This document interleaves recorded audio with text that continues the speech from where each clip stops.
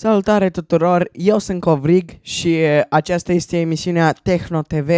Subiectul de astăzi va fi legat uh, de Microsoft Windows. Am să vă spun, uh, uh, să vă informez câteva lucruri despre uh, Microsoft Windows și asta e, asta e și scopul emisiunii Techno TV, să vă, uh, să vă informăm uh, uh, multe lucruri interesante despre tehnologie. Uh, deci uh, să începem. Microsoft Windows este un grup de familii grafice de sisteme de operare, toate dezvoltate, comercializate și vândute de Microsoft. Fiecare familie se ocupă de un anumit sector al industriei de calcul. Familiile Windows Active uh, includ Windows NT și Windows uh, Embedded.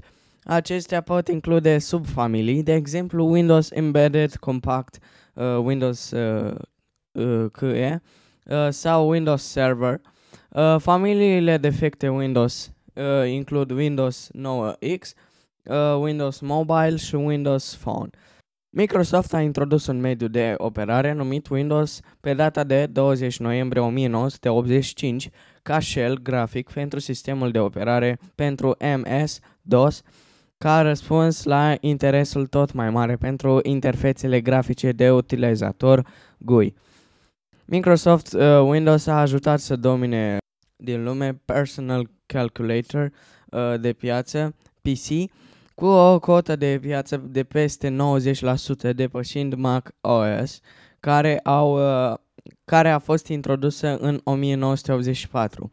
Apple a venit pentru a vedea Windows ca uzurpare nedrept din inovația lor în dezvoltarea GUI, implementat uh, pe produse precum Lisa și Macintosh, uh, eventual uh, soluționistă în uh, instalare în favoarea Microsoft în 1993.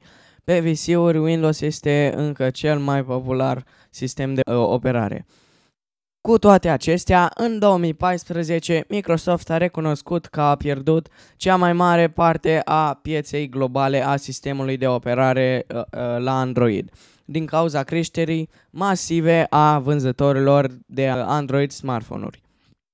În 2014, numărul de dispozitive Windows vândute a fost mai mic de 25% față de dispozitivele Android vândute. Cu toate acestea, această comparație poate să nu fie pe deplin relevantă, deoarece cele două sisteme de operare vizează în mod tradițional diferite platforme.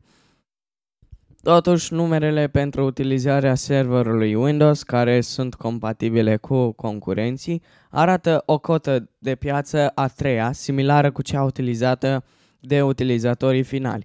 Începând cu decembrie 2017, cea mai recentă versiune de Windows pentru PC-uri tablete, smartphone-uri și dispozitive incorporate este Windows 10. Cele mai, uh, cele mai recente versiuni pentru computerele server este Windows Server 2016. O versiune specializată de Windows rulează pe consola de jocuri video Xbox One. Cam atât a fost în acest episod de Techno TV.